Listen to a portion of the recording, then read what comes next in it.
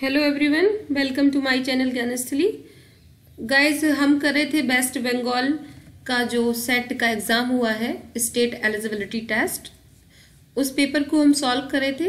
ये पेपर का दो पार्ट हम ऑलरेडी सॉल्व कर चुके हैं। तो यहाँ से हम क्वेश्चन नंबर ट्वेंटी वन से लेके थर्टी तक सॉल्व करेंगे। गाइज़ मैं इसमें टाइम इसलिए थोड़ा सा ले रही हूँ क्योंकि मैं सिर्फ़ आपको आंसर्स नहीं बता रही हूँ। मैं उस थ्योरी को भी थोड़ा सा एक्सप्लेन कर रही हूँ जिससे आपको आगे आने वाले एग्ज़ाम्स में थोड़ा हेल्पफुल रहे। ठीक है सो आप परेशान ना हो, मैं धीरे धीरे आज ये दो दिन में सारे वीडियोज़ आपको दे दूँगी। So question number twenty one को देखते हैं कि the concept of caring rooted in respectively relatedness and responsive is a basic approach to ethics who said it ये जो लाइन है वो किसने कही थी? तो अगर ये लाइन को अगर देखते हैं तो जो पाउलो फेरे नील लोडिंग्स और आपके बुलस क्राफ्ट है, ये यूजीसी नेट के नए सिलेबस में आए हैं और इससे बार बार क्वेश्चन आया है।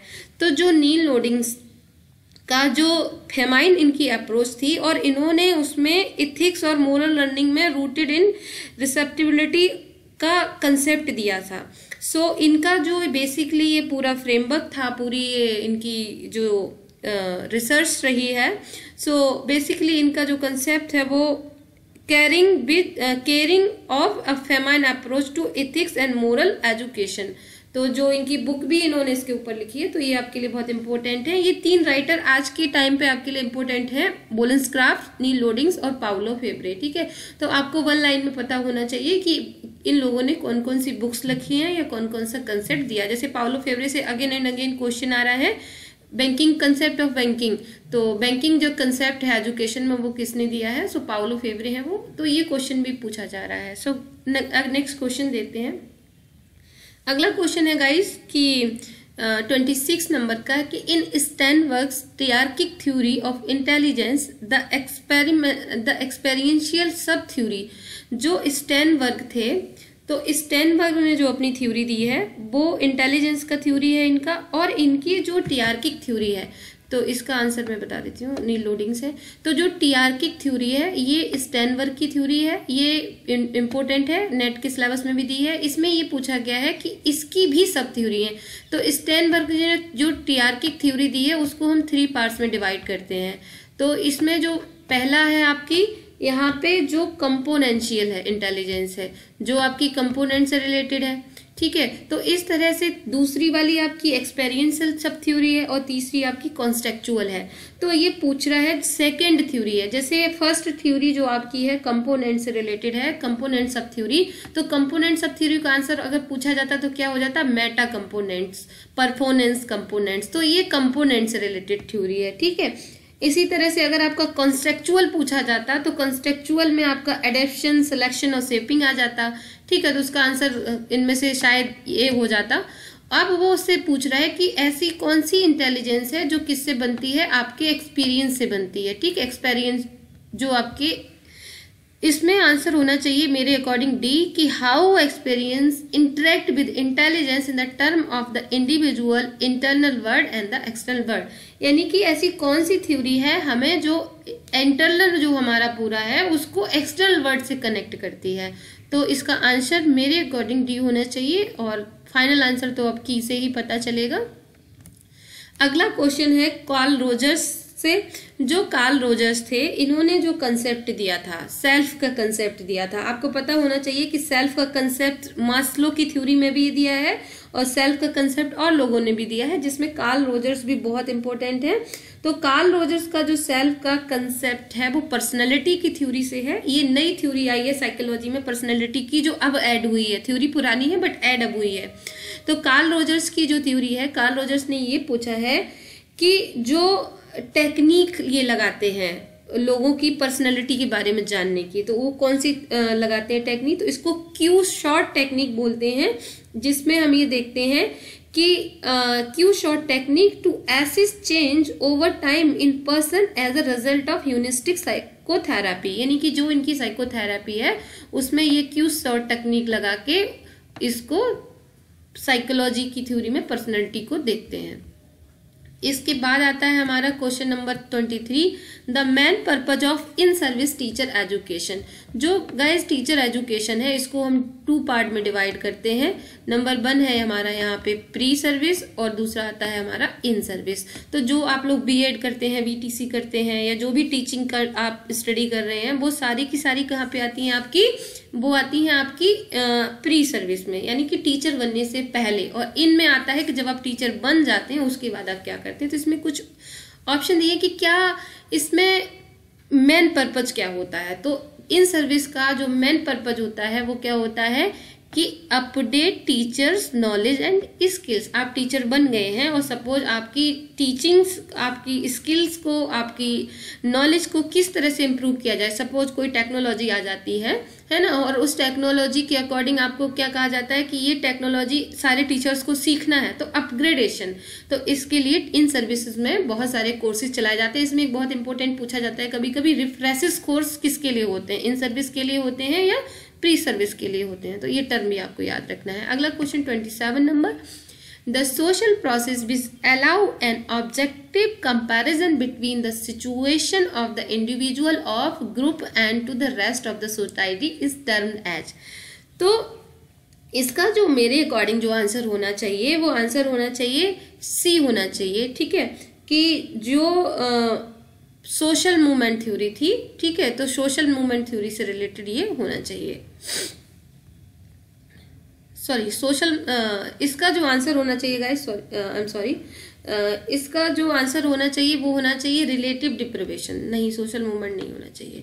रिलेटिव डिप्रिवेशन रिलेटिव डिप्रिवेशन का मतलब क्या होता है? ये सोशल सोशोलॉजी की कुछ थ्योरीज हैं, जैसे रिसोर्स मोबिलाइजेशन है सोशल डिप्रिवेशन है, सोशल मूवमेंट थ्योरी है तो वो आपसे ये पूछ रहा है कि जब हम कंपेयर करते हैं, ठीक है तो कंपेयर करते हैं दो ग्रुप के बीच में तो जो लोग एक दूसरे के साथ कंपेयर करते हैं, उसमें एक व्यक्ति ये फील करता है कि मैं डिप्रिवेट हुआ हूँ। जैसे मैं आपको एक एग्ज़ाम्पल देती हूँ यहाँ पे, जैसे पेंशन दिया जाता था पहले, ठीक है, और अब कुछ लोगों को पेंशन नहीं दिया जाता तो जिन लोगों को पेंशन का लाभ मिला, जिनको पेंशन का एडवांटेज मिला उनसे वो लोग अपने आप को क्या करेंगे? कंपेयर करेंगे जिनको पेंशन नहीं मिला। तो जिनको पेंशन नहीं मिला, वो अपने आप को कैसा फील कर रहे हैं? वो लग रहा है कि हम डिप्रिवेट हैं। तो इसलिए इसका आंसर ट्वेंटी सेवन का क्या हो जाएगा? डिप्रिवेशन थ्योरी क्योंकि ये रिलेटेड है आपके डिप्रिवेशन से।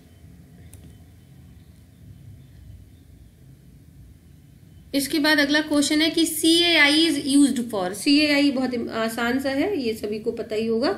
इसका ज़्यादातर लोगों ने सही आंसर किया होगा। सी ए आई का फुल फॉर्म होता है कंप्यूटर असिस्टेड इंस्ट्रक्शन यानी कि ये जो हम यूज़ करते हैं कि कंप्यूटर को इंस्ट्रक्शंस देने के लिए, ठीक है? तो इसका पर्पज क्या होता है? इंस्ट्रक्शन पर्पज होता है। आंसर आसान था इसका।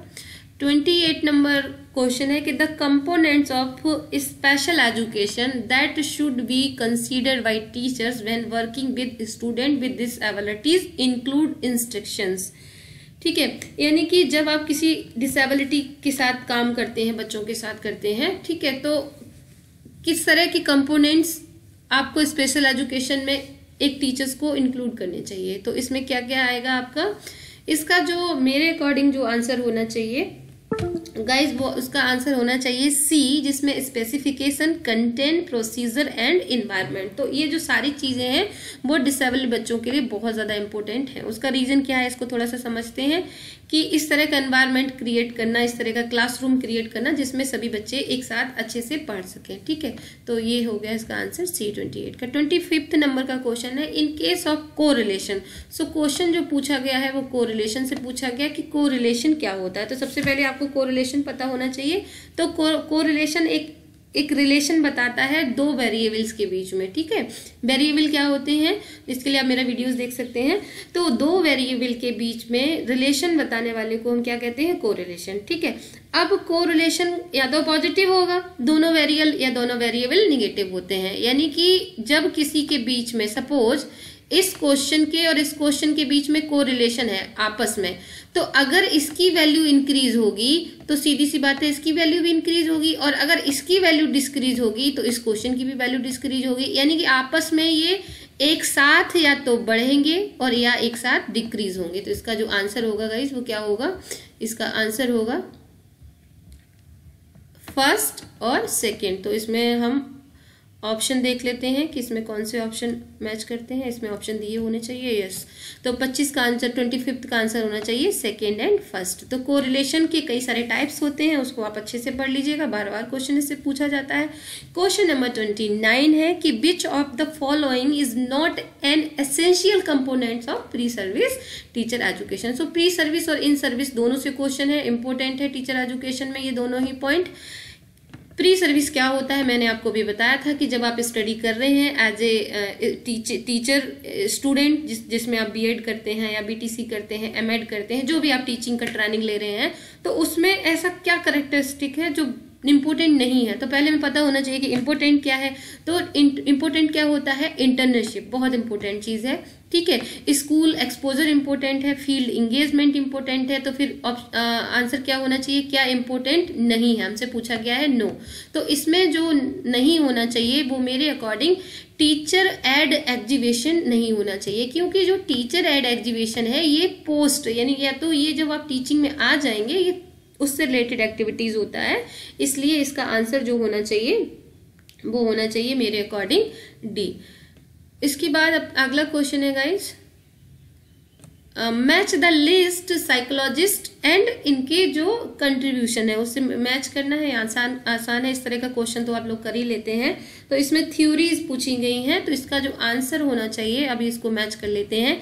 जीन प्याजे और बंडूरा, दोनों की थ्योरी बहुत आसान है, कोलवर्ग आसान है, ये सभी को ज़्यादातर याद होता है। ठीक है तो इनसे हम मैच करेंगे, हम देखते हैं सबसे पहले कि बंडूरा का थ्योरी क्या होना चाहिए? तो बंडूरा ने सोशल थ्योरी दिया था सोशल लर्निंग थ्योरी तो ये इसका आंसर थर्ड होना चाहिए।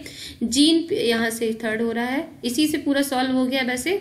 और जीन प्याजे ने कॉग्नेटिव डेवलपमेंट का थ्योरी दिया था, जो आपका संज्ञानात्मक विकास से रिलेटेड था। बहुत इंपॉर्टेंट थ्योरी है। अगेन एंड अगेन हर एग्ज़ाम में पूछा जाता है। और जो कोल वर्ग थे कोल वर्ग ने आपका मोरल डेवलपमेंट थ्योरी दिया था। इस तरह से जो आपका आंसर हो जाएगा, इसका आंसर आपका हो जाएगा। इसका आंसर आपका हो जाएगा ए ओके गाइस सो इस तरह से अब हम देखते हैं कि थर्टी क्वेश्चन तक हमने सॉल्व कर लिया है। आई विल ट्राई कि आज मैं दो वीडियोस और बना दूँ जिससे आपका फ़र्स्ट फिफ्टी परसेंट सॉल्व हो जाए। Thank you so much guys to liking us and please like share and subscribe and thank you so much wish you all the best